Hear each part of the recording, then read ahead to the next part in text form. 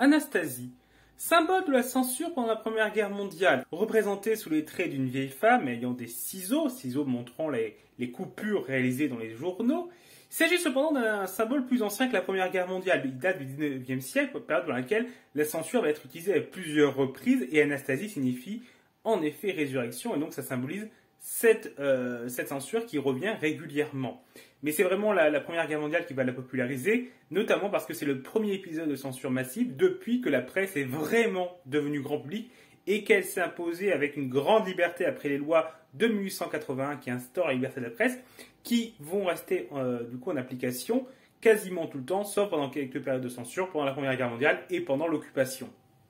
Et si vous voulez en savoir plus sur la censure pendant la Première Guerre mondiale, n'hésitez pas à aller voir la dernière vidéo de la chaîne YouTube Histoire d'apprendre. Le lien est dans la description de cette vidéo.